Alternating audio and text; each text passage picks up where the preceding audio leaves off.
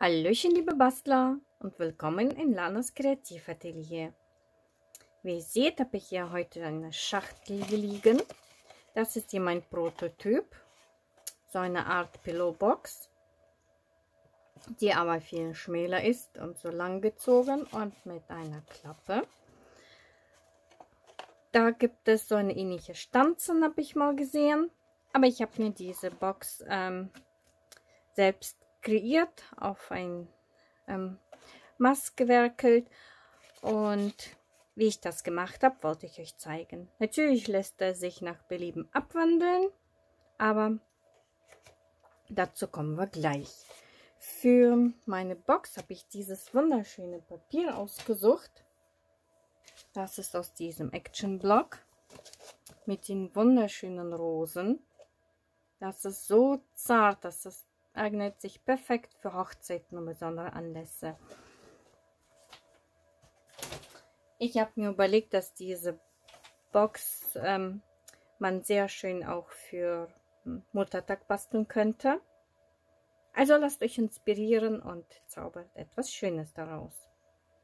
Für diese Box braucht ihr ein Lineal, ein Bleistift und natürlich ein Falzwerkzeug, so eine Kugel, bietet sich an. Man kann auch eine Häkelnadel nehmen, die rund ist und nicht spitz, mit der man ähm, das Ganze falzen kann, denn wir brauchen Rundung, diese Rundung und die kriegen wir mit einem Falz- äh, und Stanzbrett nicht gefalzt.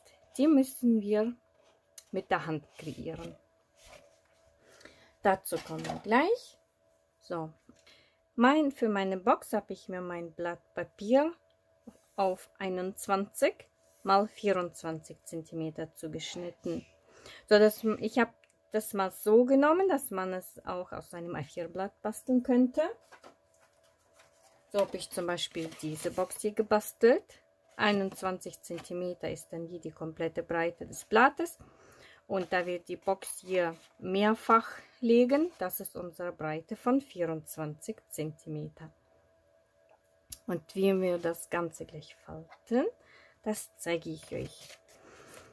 Also wenn man ein, ein größeres Blatt nimmt, dann kann man sich da auch das Maß anpassen. Ich zeige euch erstmal meine Masse. Ich habe mir hier mal ähm, aufgezeichnet wie ich die Box, wie ich die Box, Box bastle. Wir haben an den zwei Seiten diese Rundbögen. So, das ist eins. Dann brauchen wir Vorder- und Rückseite. Und wir brauchen noch eine Lasche. Daher gibt es noch zusätzlich diesen Bogen, wo die nachher die beiden aufeinander liegen. So, meine Box ist eigentlich auf dem Kopf. So, denn ähm, hier ist dieser Deckel. Deckel, der ist bei mir 5 cm. Hier unten ist die Klebelasche, mit der wir unten die Box verschließen. Und die Box ist dann 15 cm hoch. Also meine Lasche ist 5, also der Klappdeckel nenne ich das mal. Hier unten die Lasche ist 1 cm und hier 16, äh, 15 cm, so dass wir insgesamt auf die ganze Breite eines A4-Papiers von 21 cm kommen.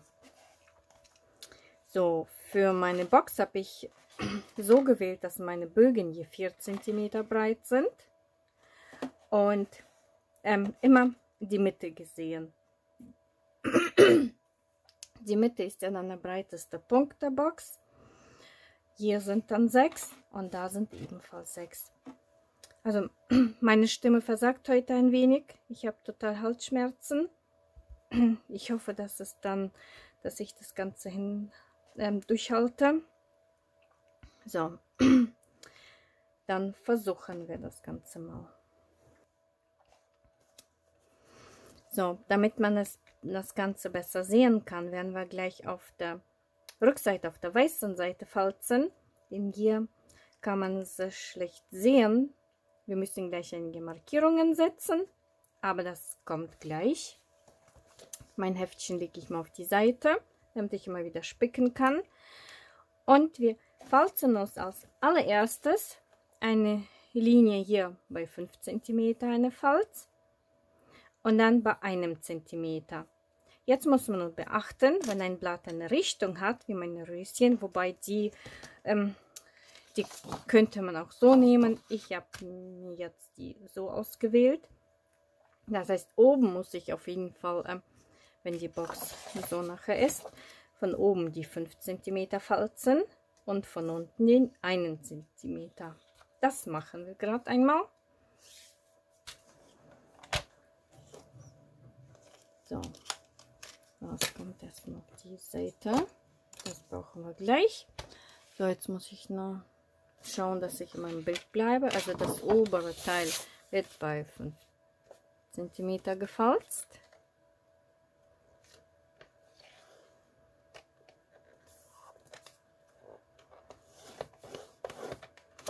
Und das untere liege ich hier unten bei einem Zentimeter.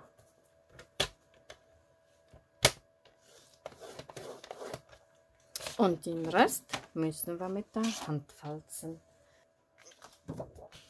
Ich kann das schon einmal vorknicken, dann sieht man die Falzlinie auch viel besser. So, das ist schon für unsere Klappe und für unten. Und jetzt kommt die Box. Daher drehe ich auf die Rückseite. Und dann fangen wir mal an. Wir brauchen, hier sieht ja den Bogen 4 cm, 6 cm die Breite. Wieder 4, 6 und schließt wieder mit 4 cm. Die Markierung müssen wir einmal treffen und zwar hier in der Mitte von unseren 5 cm der Höhe der Box. Daher ich markiere mir einmal die Mitte. So. ähm, hier in dem Bereich sind ja 15 cm. Mitte der Box sind 7,5. Also markiere ich mir 7,5 cm. Die habe ich hier einmal markiert. Ähm, also bei meinem T-Lineal kann ich das einfach so ansetzen. Beim anderen müsste man sonst noch einmal Markierung setzen. Bei mir wird jetzt automatisch der rechte Winkel angelegt. So, ich lege es bei meiner Markierung und jetzt ähm, setze ich meine Markierungen bei 4 cm plus 6 kommen wir auf 10 plus nochmal 4 bei 14 nochmal 6 sind wir bei 20 und dann bei 24 hört es auf Jetzt haben wir hier schon mal unsere Markierungen, die mittig verlaufen. 4, 6, 4, 6 und nochmal 4 cm.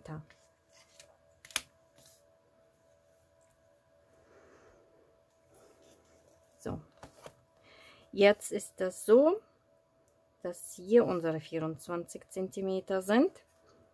Hier aber ähm, dieses Anfang der Box im oberen Bereich liegt ja nicht in der gleichen Höhe, sondern wenn wir diesen Bogen von 4 cm teilen, dann ist das 2 cm ist die Mitte, dann sind wir hier oben 2 cm kürzer. Das gleiche ist auch hier.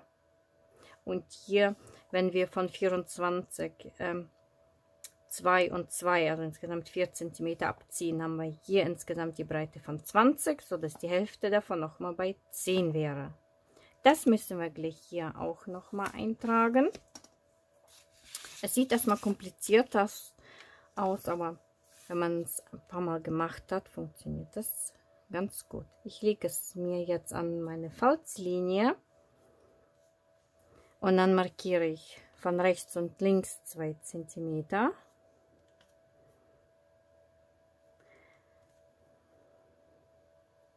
und dann einmal die Mitte von hier haben wir insgesamt 24 dann liegen wir hier bei 12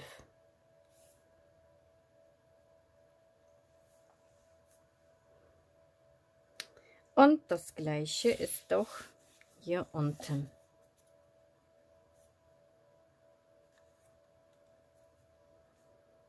Zwei von rechts und links. Und bei 12 ist dann die Mitte. Jetzt müssen wir unsere Bögen einzeichnen. Wie machen wir das am besten? Ich habe da einfach zu Hause geschaut an Topfdeckeln und Tellern, was ich da verwenden könnte. Für meine Bögen hat sich habe ich daraus gestellt, für meine, die 4 cm breit sind und 15 lang, brauchte ich einen Durchmesser von 30 cm. Und dann habe ich bei mir zu Hause so einen ähm, Dekoring gefunden. Der ist genau 30 cm groß. Und dann lassen sich die Bögen wunderbar damit gestalten und formen. Damit wir das Ganze besser falzen können, nehme ich hier eine weiche Unterlage. Ich habe hier so ein Mausbett. Das ist das günstigste, was es bei Action gibt. Da kann man sehr schön drunter legen. Und das Ganze können wir gleich einzeichnen.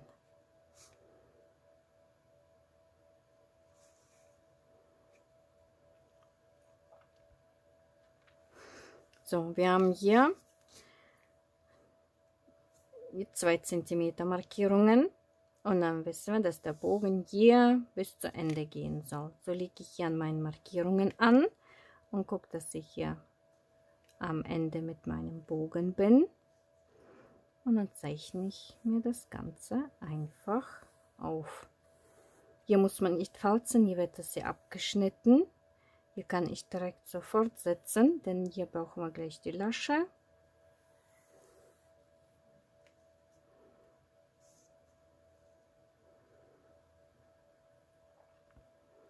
Und hier müssen wir gleich noch ähm, einen Bogen für, für unseren Deckel machen. Wie wir den gleich gestalten, zeige ich euch. Erstmal malen wir diesen Bogen und das gleiche gegenüberliegend. So, ich mache jetzt erstmal alle von dieser Seite. Da muss ich nicht zu viel und her drehen. Jetzt brauche ich mein Falzwerkzeug.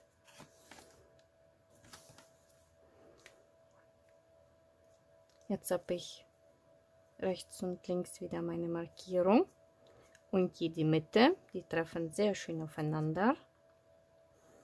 Und dann ziehe ich mir meine Bögen.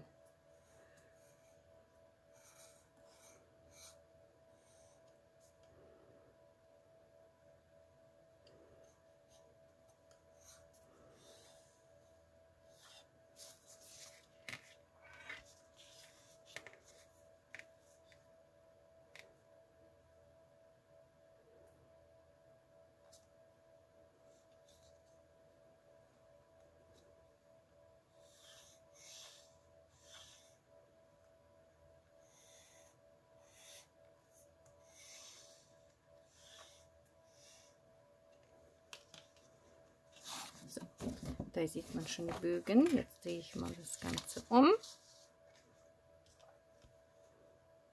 Und zeichne die gegenüberliegende Linie. Hier unser Schnittpunkt. An den beiden Querfalzlinien und hier unsere Markierung von 4 cm. Hier versuche ich so ungefähr mittig anzulegen, damit alles schön passt.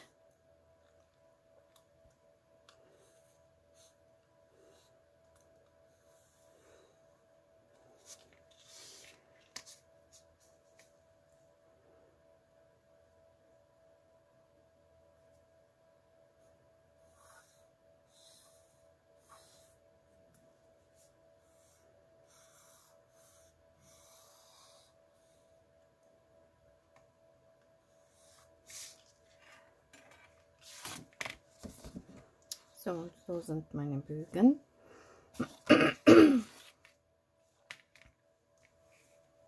So, jetzt muss ich hier alleine zugeben, dass ich mich um 1 cm verschnitten habe. Aber wir lassen das nachher einfach für die Lasche, für die innere Lasche. Dann ist mein Bogen einfach hier 1 cm kürzer, dass wir den einfach verstecken. Ich habe leider mein Papier 1 cm kürzer abgeschnitten. Nicht aufgepasst. Achso, hier hm, müssen wir gleich abschneiden. Also male ich mir meinen Bogen da auf.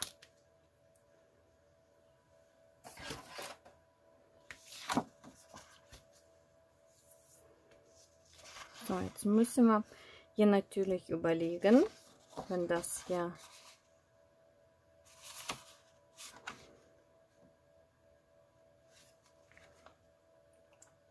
denn bei mir müsste das hier das äußere sein,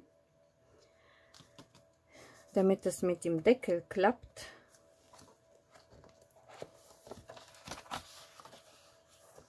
Denn ich wollte es ja so nach hinten kleben und dann kommt der Deckel drauf.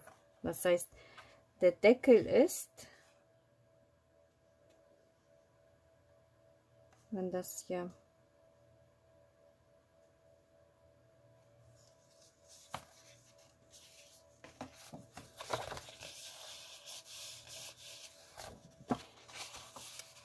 so wird nachher so gemacht, dann muss der Deckel hier hinten sein. Muss ich jetzt ähm, bei mir einfach spiegelverkehrt machen, damit das hier hinten ist, weil mit dem schließe ich von vorne. Das heißt, mein Deckel muss auf dieser Seite sein. Sonst ist es ja genau das gleiche. Das kann man ja so oder so. Ob man den Deckel hier oder hier aufzeichnet, macht ja keinen Unterschied. Das machen wir dann ähm, gleich. Ich schneide zuerst.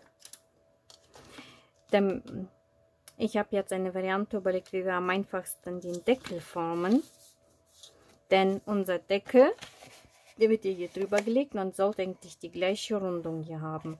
Hier habe ich ähm, nicht ganz so passend, die wäre ein bisschen schmäler.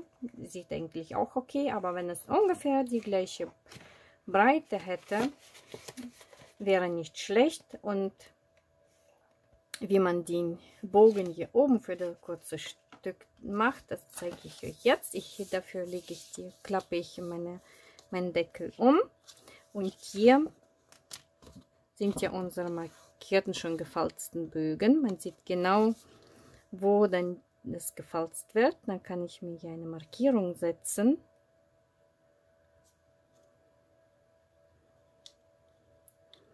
wo der, bis wohin der Bogen gehen soll. Der soll hier vom Ende, ähm, das heißt von hier bis zu unserer Markierung hier, soll gleich unser Bogen laufen. Genau wie hier. Da wir können gleich auf der Rückseite zeichnen. Hier sieht man die nicht, so dass der Bogen hier so läuft. Also von diesem Schnittpunkt, wie hier, bei den beiden Spitzen von Bögen. Hier fängt es an und hier wird der Bogen gehen. Beide Bögen rechts und links, eigentlich mit dem gleichen Bogen, wie es hier unten ist. Daher brauche ich meinen Ring hier noch einmal. Jetzt muss ich aber auf der Seite einzeichnen, denn hier habe ich auch meine Markierungen. Einmal genau schauen, dass ich auch die richtigen Markierungen habe.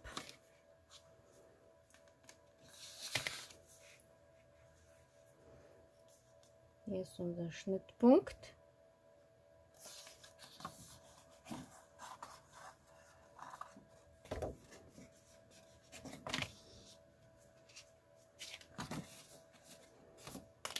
Der wird hier gleich ausgeschnitten, damit ich das Ganze auch sehe.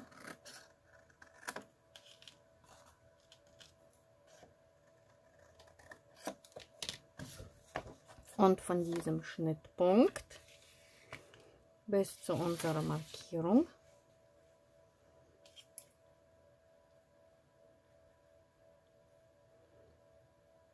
wird jetzt ein Bogen gezeichnet. Das können wir gleich ausschneiden. Genau das gleiche gilt auch hier. Hier ist unsere Markierung. Hier sind die beiden Bögen, richtige kreuzen.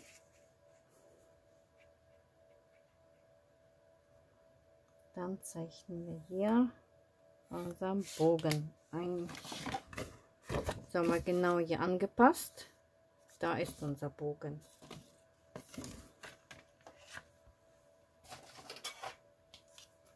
Dann können wir das Ganze schön ausschneiden.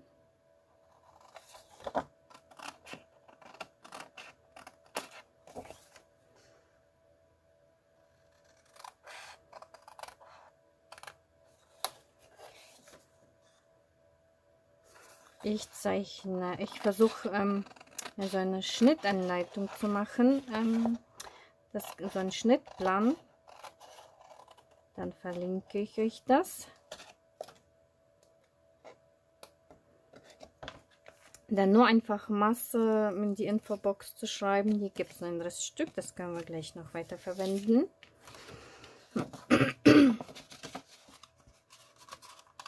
So. Und hier vorne gegenüber kommt dann unsere Lasche. Eine kleine Klebelasche.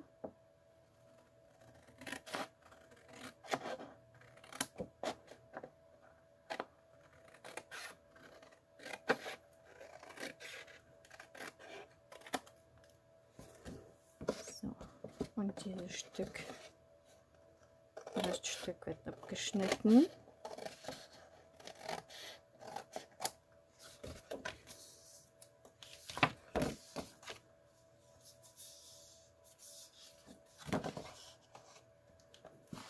Na, man merkt, ich habe die Brille nicht an. Dann mache ich hier einiges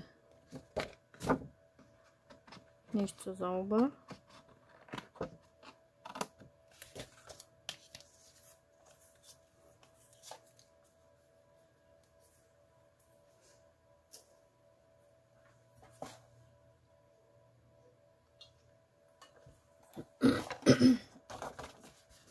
Müssen wir unsere Bögen, ich falte sie erstmal in die Richtung, weil wir von der Seite ähm, unsere Falzlinie gezogen haben. Dann forme ich mir das Ganze.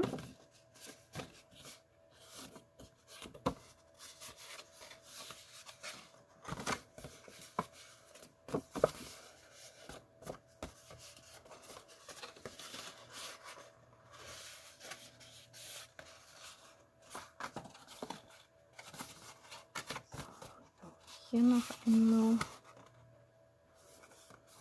Jetzt können wir das Ganze noch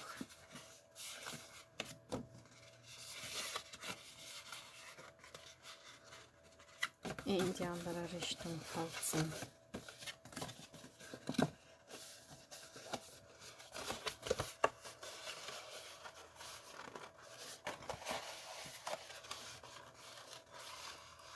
Oh, schön es sich hier rund liegt.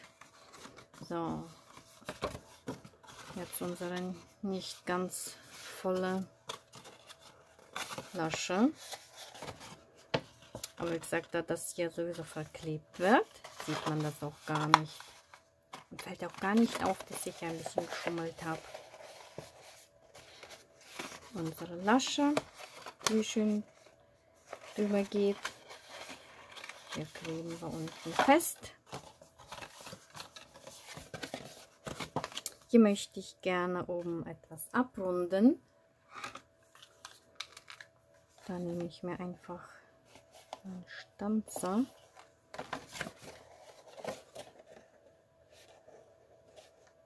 Legt man das hinein und runde das Ganze ab. Guck mal, da haben wir so schöne, wunderbare runde Kanten.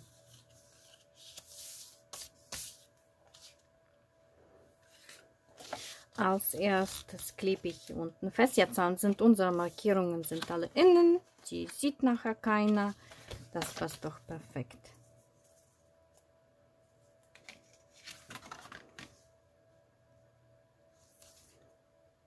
Ganz nah an unserer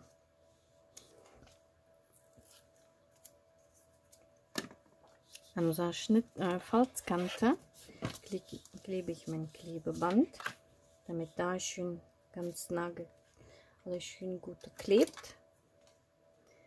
Und ich möchte das Ganze noch ein bisschen mit Flüssigkleber zusätzlich verstärken, damit hier sich nichts lösen kann. Und damit wir gleich noch ein bisschen ruckeln können. So, ihr guckt ein bisschen Klebeband draus, den lege ich einfach nach innen. Ich glaube, das können wir erstmal zur Seite nehmen.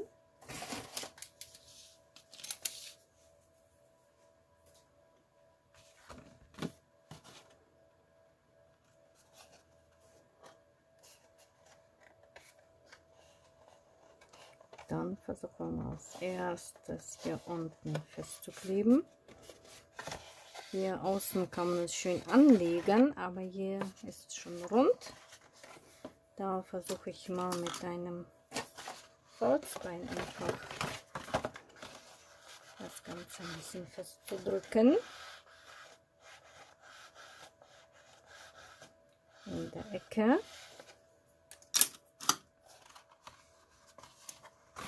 Dann ist das hier schon fest. Jetzt kleben wir nur noch ja, seitlich unsere Klebelasche. Machen die Box zu. Dann wäre die Box schon fertig. Und ihr seht zauberhaft mit diesen wunderschönen Röschen. Also kommt hier auf die Klebelasche Kleber.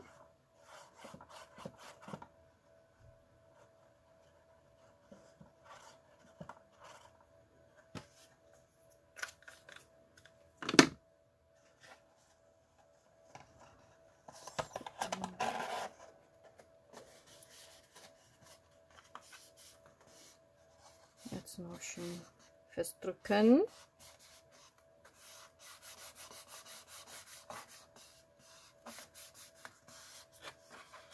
Das ist so ein wunderschönes Papier. Für Karten finde ich allerdings, da ist ein bisschen zu viel los. Da muss man das ganz dezent aufbringen. Aber für Boxen dachte ich, es ist optimal. Für Alben zur Hochzeit, für Hochzeitskarten für besondere Anlässe, wie jetzt zum Muttertag, finde ich, ist das ein wunderschönes Papier. So schön romantisch und voller Blümchen. So, das braucht einen Moment, bis alles schön angezogen ist. So. Ich möchte hier vorne ähm, meine Box mit einem Band verschließen, indem ich das drumherum mache und möchte hier vorne noch einen Schlitz wie hier, wie ich hier gemacht habe. Ich habe da so eine Stanze. Ihr müsst es ja so nicht machen. Man kann mit einem Cutter einen Schlitz reinmachen. Vielleicht habt ihr auch andere Zangen, mit denen das möglich ist. Eine Stanze. Ich habe hier so eine Trio-Stanze von Stampin' Up. Und dazu ist sie doch optimal. Hier habe ich einen Schlitz. Und dann kann ich gleich wunderbar meine Box verschließen. Ich sammle gleich alle Materialien, ähm, um, um die Box zu dekorieren. Und dann machen wir weiter. So, ich habe mir einige Materialien hier zusammengesucht. Ich habe mir so ein wunderschönes Schleifenband. Ist doch perfekt für eine Hochzeit, oder? Dieses Band ist von Kaffee Konstanze. Das möchte ich gleich um meine Box wickeln.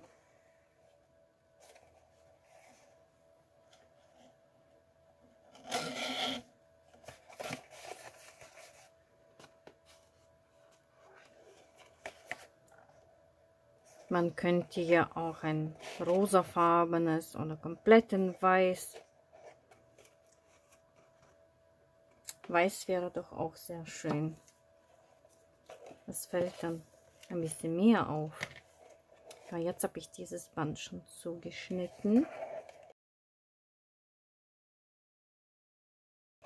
So, das Band kommt gleich hier drumherum. Ich habe mir aus dem Reststück einen kleinen Anhänger ausgestanzt. Ich habe diese hier von Stampin' Up verwendet. Man kann natürlich auch ähm, die von Action nehmen. Da habe ich nur diese hier. Ich möchte einfach schauen, was ihr da habt. Das hat mir von der Größe sehr schön gepasst. Habe ich aus dem Reststück, also aus dem gleichen Papier, einen Anhänger ausgestanzt und aus einem weißen. Ich hatte gerade noch so ein Restpapier liegen, das hier eigentlich schon geprägt war. Daraus habe ich mir einen Anhänger ausgestanzt. Auch die Mitte aus einem kleineren Stück ähm, von diesem blumigen Papier ist aus Öse aufgesetzt. Alles Liebe zum Muttertag drauf gestempelt. Mit feindlichen Anlässe von Stampin' Up und mit Lodengrün. Wunderschöne grüne Farbe. Hier gibt es alles Liebe zum Muttertag. Und als kleine ähm, Hingucker, Hingucker habe ich mir so kleine Blättchen. Ähm, die gab es auch von bei Action. Da habe ich sämtliche Blüt, ähm, Blätterstanzen hier gesammelt. Dann habe ich diese hier. Die haben ja ähnliche Form ausgestanzt aus Vellum. Das sehr schön zu meinen Blüten mit so leicht bläulich das möchte ich gleich mit arrangieren und viel mehr wird es hier nicht.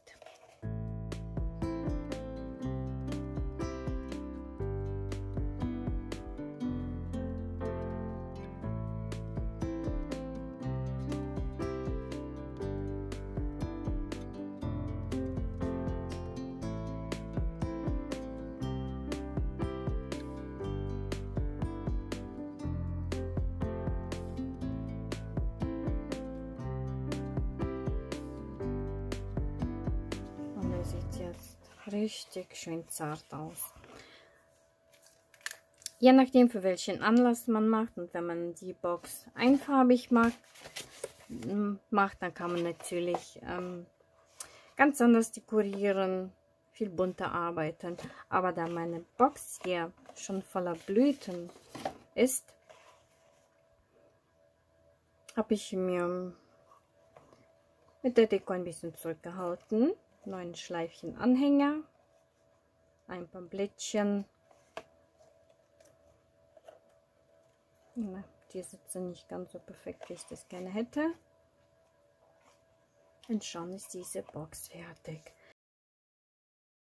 Ich schaue zu, dass ich ähm, eine Anleitung für euch anfertige. Dann mit so einer Zeichnung kann man viel ähm, ist einfach an diese Box heranzugehen, wenn man es sich vor Augen halten kann, wie die Box aufgebaut ist. Und dann kann man es nach Belieben abwandeln. Schreibt mir ruhig eventuell in die Kommentare, ob es euch interessiert, ob ich die Box auf ein komplettes umrechnen sollte, auf ein ähm, 12x12 Inch Bogen denn da fallen auch kleine Reste. Hier zum Beispiel kann man sehr schön auch Anhänger und kleine Blanchiments nochmal vielleicht Röschen ausstanzen, die man mit ähm, irgendwo aufbringen kann. Ich bereite erstmal mit dem Maß und dann schaue ich mal, dass ich das Ganze hier hinkriege. Das ist also diese wunderschöne Box. Ich, ich finde die zauberhaft. Hoffe natürlich, dass euch diese Idee gefällt und dass ihr so eine oder so ähnliche Box nachwerken werdet. Wünsche euch nur noch viel Spaß beim Schauen und beim Nachbasteln. Bis dahin!